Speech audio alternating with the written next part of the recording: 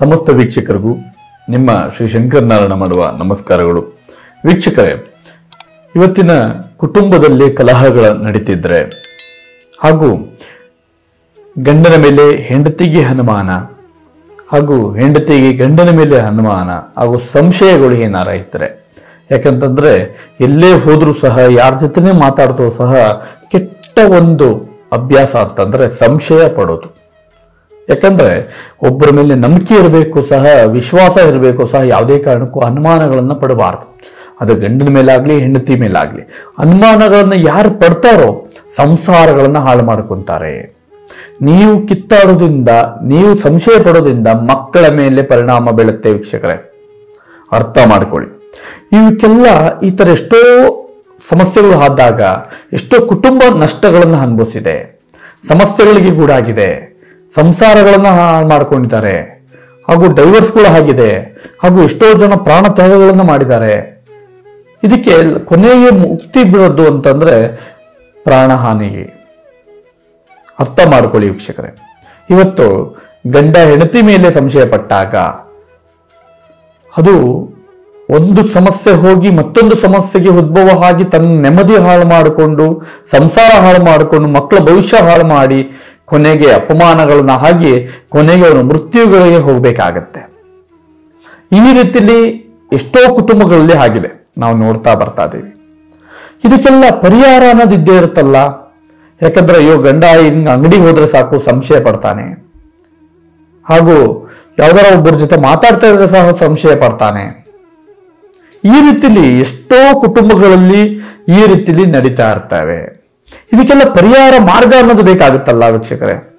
ಹೌದು. ಇದಕ್ಕೆಲ್ಲ ಪರಿಹಾರ ಮಾರ್ಗಗಳು ಖಂಡಿತ ನಮ್ಮ ಜ್ಯೋತಿಷ್ಯ ಶಾಸ್ತ್ರದಲ್ಲಿದೆ ಪೂಜಾ ಪದ್ಧತಿಗಳಲ್ಲಿದೆ. ಒಬ್ಬ ವ್ಯಕ್ತಿಯನ್ನ ಬದಲಾವಣೆ ಮಾಡಿ, ಒಬ್ಬ ಒಳ್ಳೆಯ ಒಂದು ವ್ಯಕ್ತಿತ್ವಗಳನ್ನ ರೂಪಣೆ ಮಾಡೋ ಶಕ್ತಿ ನಮ್ಮ ಜ್ಯೋತಿಷ್ಯದಲ್ಲಿ, ಹಿಂದೂ ಶಾಸ್ತ್ರಗಳಲ್ಲಿ ಇದೆ.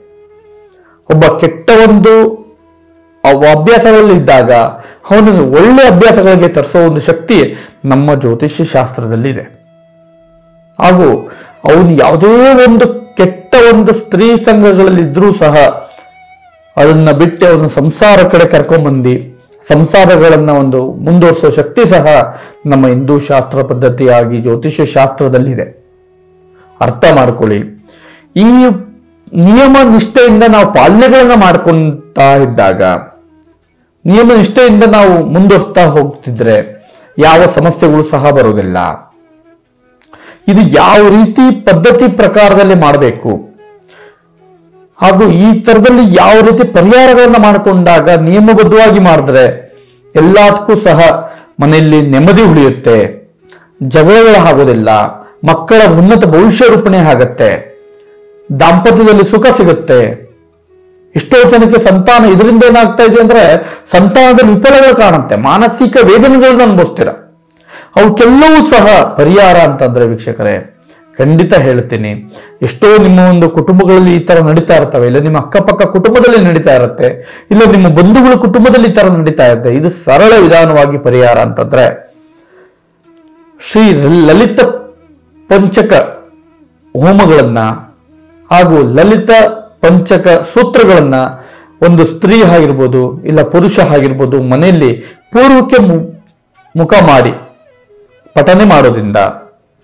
ಅದನ್ನ ನಿಷ್ಠೆಯಿಂದ ಅದನ್ನ ಸಂಪೂರ್ಣ ಓದೋದ್ರಿಂದ ಅವರಲ್ಲಿರುವ ಒಂದು ಸಂಶಯ ಬುದ್ಧಿ ಇಲ್ಲ, ನಿಮ್ಮ ಮೇಲೆ ಯಾರೇ ಸಂಶಯ ಪಟ್ಟರು ಆ ಸಂಶಯ ಪದ್ಧತಿ ಹೋಗಬೇಕು ಅಂದ್ರೆ ಶ್ರೀ ಲಲಿತ ಪಂಚಕ ಸೂತ್ರಗಳು ಹೇಳೋದು, ಇಲ್ಲ ನೀವೇ ಲಲಿತ ಪಂಚಕ ಹೋಮಗಳನ್ನು ಮಾಡೋದು, ಇಲ್ಲ ಲಲಿತ ಪಂಚಕ ಪೂಜೆಗಳನ್ನು ಮಾಡಿಸೋದು, ಈ ರೀತಿಯಲ್ಲಿ ಮಾಡಿದಾಗ ನಿಮ್ಮಲ್ಲಿ ಬಂದಿರುವ ಒಂದು ಅನುಮಾನ, ಸಂಶಯ ಕೆಟ್ಟ ದೃಷ್ಟಿ ಅನ್ನ ಒಂದು ಅನಾರೋಗ್ಯಗಳು ಸಹ, ಹಾಗೂ ಸಂತಾನ ವಿಫಲಗಳು ಹಾಕ್ತಿದ್ರೆ ಮನೆಯಲ್ಲಿ ಕಾಡಾಟಗಳು ನಡೀತಿದ್ರೆ, ಅವಕ್ಕೆಲ್ಲವೂ ಸಹ ಪರಿಹಾರ. ಇದೆ ಈ ಒಂದು ಶ್ರೀ ಲಲಿತ ಪಂಚಕ ಸೂತ್ರ ಆಗಿರ್ಬೋದು, ಲಲಿತ ಪಂಚಕ ಹೋಮಗಳಲ್ಲಾಗಿರ್ಬೋದು ಈ ಪದ್ಧತಿಗಳನ್ನ ನೀವು ಮಾಡ್ಕೊಂಡು ಹೋಗ್ಬೇಕಾಗತ್ತೆ. ಅದೇ ರೀತಿಯಲ್ಲೂ ಸಹ ಈ ಒಂದು ಪಠನೆ ಮಾಡ್ತಿರೋ ಸಂದರ್ಭದಲ್ಲಿ ನೀವು ಹಾಲು ಹಾಗೂ ಅನ್ನ ನೈವೇದ್ಯಗಳನ್ನ ಇಡಬೇಕಾಗತ್ತೆ. ಆ ತಾಯಿ ಜಗನ್ಮಾತೆಗೆ ನೀವು ಇದನ್ನ ಪ್ರತಿದಿನ ನೀವು ನೈವೇದ್ಯ ಇಟ್ಟು ನೀವು ಪೂಜೆಗಳನ್ನ ಮಾಡ್ಕೊಂಡು ಹೋದ್ರೆ ಶಾಸ್ತ್ರ ಪದ್ಧತಿಯಾಗಿ ಪೂಜೆಗಳನ್ನ ಮಾಡ್ತಾ ಇದ್ರೆ, ಹಾಗೂ ನಿಮ್ಗೆ ಇಷ್ಟೇ ದಿನದ ಒಳಗೆ ನಿಮ್ಮ ಮನೆ ವಾತಾವರಣ ಬದಲಾವಣೆ ಆಗುತ್ತೆ, ಮನಸ್ಥಿತಿ ಬದಲಾವಣೆ ಆಗುತ್ತೆ ನಿಮ್ಮನ್ನ ನೋಡೋ ದೃಷ್ಟಿ ಬದಲಾವಣೆ ಆಗುತ್ತೆ. ಅದೇ ತರ ನಿಮ್ಮ ಅನುಮಾನ ಒಂದು ಏನು ಕೆಟ್ಟ ಒಂದು ಅಭ್ಯಾಸ ಹಿಂದೆ, ಆ ಅನುಮಾನ ಅನ್ನೋ ಕೆಟ್ಟ ಅಭ್ಯಾಸ ಸಂಪೂರ್ಣ ಹೋಗಿ ನಿಮಗೆ ಪ್ರೀತಿ, ವಿಶ್ವಾಸ, ನಂಬಿಕೆಯಿಂದ ನಿಮ್ಮ ಕುಟುಂಬದಲ್ಲಿ ಇರ್ತೀರಾ? ಅರ್ಥ ಮಾಡ್ಕೊಳ್ಳಿ ವೀಕ್ಷಕರೇ. ಈ ಒಂದು ಸಣ್ಣ ಪರಿಹಾರಗಳನ್ನ ದೈವದ ಮೊರೆ ಹೋದಾಗ ಯಾವ ಸಂಶಯ ಆಗಲಿ, ಯಾವ ತೊಂದರೆಗಳು ಆಗಲಿ ಯಾವುದೇ ಕಾರಣಕ್ಕೂ ಬರೋದಿಲ್ಲ ಅರ್ಥ ಮಾಡ್ಕೊಳ್ಳಿ. ಇನ್ನು ಹೆಚ್ಚಿನ ಮಾಹಿತಿಗಳು ಬೇಕಾದ್ರೆ ಖಂಡಿತವಾಗ್ಲೂ ನಮ್ಮ ಒಂದು ಸಂಘ ಸಂಸ್ಥೆಗಳಿಗೆ ಭೇಟಿ ಮಾಡಿ, ಹಾಗೂ ನಮ್ಮನ್ನ ನೇರವಾಗಿ ನಮ್ಮ ನಂಬರ್ ಮುಖಾಂತರವಾಗಿ, ನಮ್ಮ ವೆಬ್ಸೈಟ್ ಮುಖಾಂತರವಾಗಿ ನಮ್ಮನ್ನ ಭೇಟಿ ಮಾಡಬಹುದು. ನೀವು ಯಾವುದೇ ಕಾರಣಕ್ಕೂ ಸಹ ನಮ್ಮ ಸರಿಯಾದ ವಿಳಾಸಗಳನ್ನು ನೀವು ತಿಳ್ಕೊಂಡು ನನ್ನ ಒಂದು ಭೇಟಿ ಮಾಡಿ. ಯಾವುದೇ ಒಂದು ಸರಳ ಪ್ರಶ್ನೆಗಳಿಗೂ ಸಹ ಸರಳ ಉತ್ತರಗಳು ಸಿಗುತ್ತೆ. ಯಾವುದೇ ಗೊಂದಲಗಳಿಗೂ ಸಹ ಒಂದು ಮುಕ್ತಿ ಮಾರ್ಗಗಳು ಸಿಗುತ್ತೆ. ಎಲ್ಲರಿಗೂ ಸಹ ಒಳ್ಳೆಯದಾಗಲಿ ವೀಕ್ಷಕರೇ. ನಿಮಗೆಲ್ಲರಿಗೂ ಸಹ ಈ ಸಂಶಯದ ಭೂತದಿಂದ ಹೊರಗಡೆ ಬನ್ನಿ. ಅಂತ ಹೇಳ್ತಾ ನಿಮ್ಮ ಕುಟುಂಬ, ನಿಮ್ಮ ಸಂಸಾರ ಖಂಡಿತವಾಗ್ಲೂ ಸುಖ, ಶಾಂತಿ, ನೆಮ್ಮದಿಯಿಂದ ಇರಲಿ ಅಂತ ಕೇಳ್ತಾ. ವೀಕ್ಷಕರೆಲ್ಲರಿಗೂ ಒಳ್ಳೆಯದಾಗ್ಲಿ ಸರ್ವೇ ಜನ ಸುಖಿನೋ ಭವಂತು.